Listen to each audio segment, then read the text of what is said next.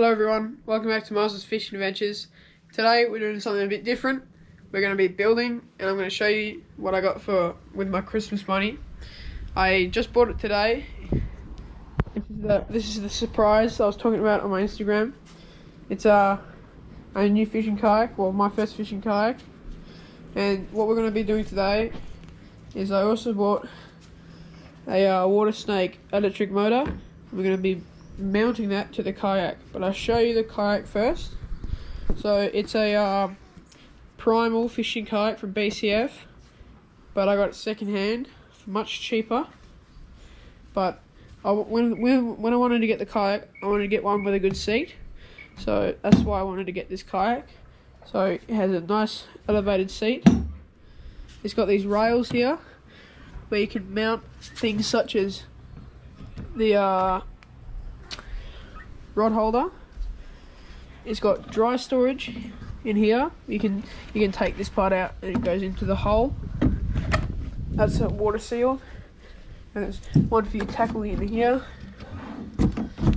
Drink cup holder, somewhere you can mount yeah, fish finder or anything. Loose loose loose storage right there. Bungee cord storage at the back. This is where you can put like esky or something. And yeah, and a couple rod holes at the back. Hello. Got a cookie for you. But yeah, this is what we're going to be doing today. Mounting that to the kayak. Hope you enjoy. Alright, so what I'm going to do is to mount the um the motor, you've got to use, you got to use this. But um, it doesn't go anywhere. So what I'm thinking of doing is if I cut out a piece of wood like this, and then drilling that into the kite here, around there, and then drilling that onto the piece of wood to mount it like that. I feel that that should be good enough. Hopefully it's stable enough. Yeah, it should be stable. Because it's got four bolts and everything. But yeah, that's what we're going to do. So what now? We just need to cut this out and we'll get into that. Yeah.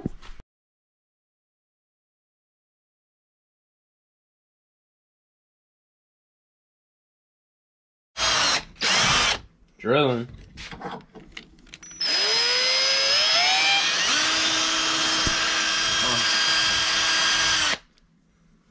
Here's my friend Miles. He's already. And he's cracked at drilling my guy.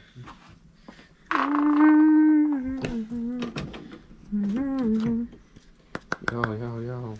Now you gotta put the bolts in and put it on the kayak. What that is. That's really good.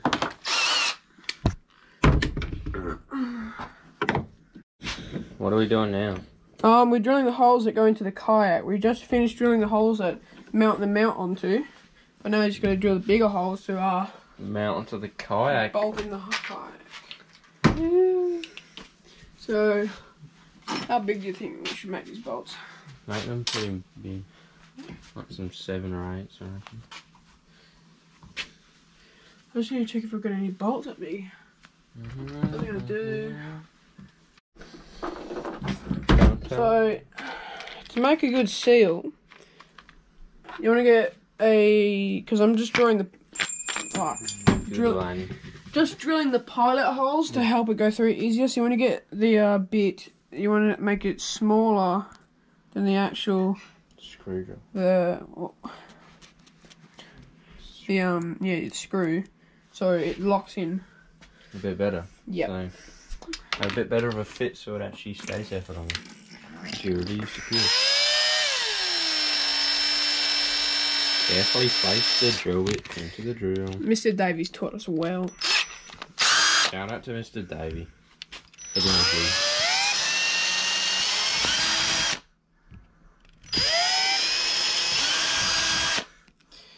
And Got a now little we're bit gonna of a drill the pilot dust holes for the kayak. This is where there's no going back. This is where shit hits the fan. Right, we're gonna do this perfect. It's not touching. Is this touching? What are we doing now? We are drilling into the kayak, which is a bit the bit process. nervous, bit nervous, but Hopefully all goes well. yeah. There we go.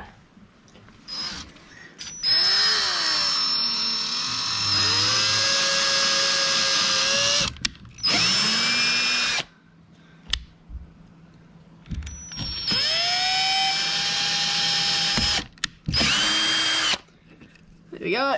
Two little holes. Like a snake bite. Oh yeah. We're business, baby. You want to use silicone to make sure that your holes are waterproof. Oh, you done yourself a mischief. No. Uh-huh. Just give me the Gloopberry Flago. One bag lip. You should do it. Make sure you slather that on. You want this to be waterproof. Alright, there you go. Enough curry and too much rice, you know where to go. On to the final mounting process. I'll look all up. And if this ever goes wrong and it ever doesn't end up working, this will still be waterproof because it's such small holes and you just lather it up with a bunch of silicone and it should still be waterproof. But Up yeah. and close. Oh, Making sure it's tight. don't want to have to find it later. Why is there sharp? Ooh, ooh, that's solid. Solid. What the hell happened here? Got the scoop. My drip, my drip, my drip. Alright, we got the Envy groups and a um, Sacrifice Complete, but it's got a Root Industries brake. That doesn't even fit, it's too fat. It's got a purple peg, which is meant for um Smiths. Alright, moving on, moving on. We got got dual suspension scooter, which um it broke. And we got the OG Scott. Not much to say except for a bit old. Got the conventional. Pretty dreamy, pretty dreamy. Got the um Hope and DT wheel set. See if we can get this girl running for you. Oh, wrong way. Oh, get a load of that in you. Alright. Quench frame, honestly, inside's large. With 27s and a RockShox pipe up the front and a mud guard. One of the mucky mutts. Mucky nuts. We've got a SRAM level for the rear and a SRAM guide for the front. It's a bit stinky. Needs new grip. You can see under there. Go. It's not bad. It's not bad. The the, the dropper post is a bit cooked. I don't know if you can see, but uh, you can you can push it down. It's a bit it's a bit cooked. We'll just leave that there. But new addition. DMR vault pedals. Really good, but they did do me a mischief on my back of my leg, so I'm not sure. And the Taco Fest mud guard by Xavier. On your mate. And we got a bottle cage of this. This is here, so when we put the JBL in, it doesn't fall out. And obviously we got the GX drivetrain because why not? But might be getting a new fork and some Magura soon for Khan. And we got the scoot. I'm gonna go on the scoot one-handed and do a bar spin. That counts. And now we will go back to Miles. See what Miles is doing. Got the oil patch. Got the skew. And then we got this dreamy stew. Bit stinky these days though. Uh, update on the progress. Um, I've just put a bunch of silicone around this, and if you look down Looking here, pretty plain. look how close that is. That's perfect. But yeah, I just need to drill this in, and then we should be set. My drip, my drip, my drip. Now we're doing the mounting. Yeah. Put a bit of silicone in it. Yeah, make sure everything's waterproof. You don't want any water getting in your car. Don't want to make it all rusty, crusty.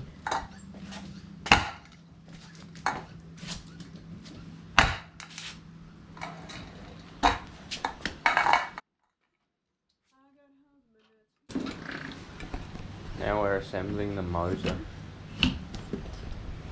Down. My motor, my motor, my motor. Oh, stepping glue. Not the silicon. Silo. Silicone. My drip, my drip, my drip. Don't tell it. How many do you have? Four? Hope so. Back in business. Get a good angle of it. Down some screws that fit, hopefully. No, not screws. they're- just because these ones have these on the end of them. hmm So yeah, they can screw in better. Yeah.